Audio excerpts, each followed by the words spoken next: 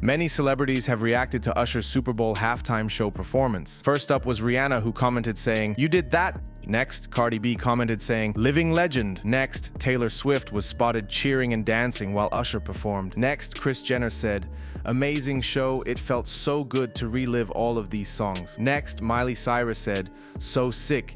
How can you literally be that good at performing? Next, Travis Kelce left a supportive comment online during the halftime saying, So pumped, great, great show. After his show, Usher gave a statement to the press saying, I've obviously been doing this for years, but my nerves were bad. It's a big performance, a huge opportunity. I just hope I made everyone proud. I fought my hardest to bring my vision for life, so all I can do is hope that everyone enjoyed it. I'll see all my true fans on my tour. Usher's performance was highly acclaimed by fans on social media, with many people labeling it as one of the greatest halftime shows of all time. One fan said, Best halftime show of all time. Usher is a living legend. Nobody else has the combination of great performing skills and a selection of smash pop hits like he does. He's an absolute legend. Another fan said, I love this halftime show. My favorites were Rihanna and Madonna's before. Usher has outdone everybody. One more fan said, Usher is the greatest performer of all time. Not one halftime show has ever been as good as his. I'm sure everyone who had previously performed must be so jealous. And finally,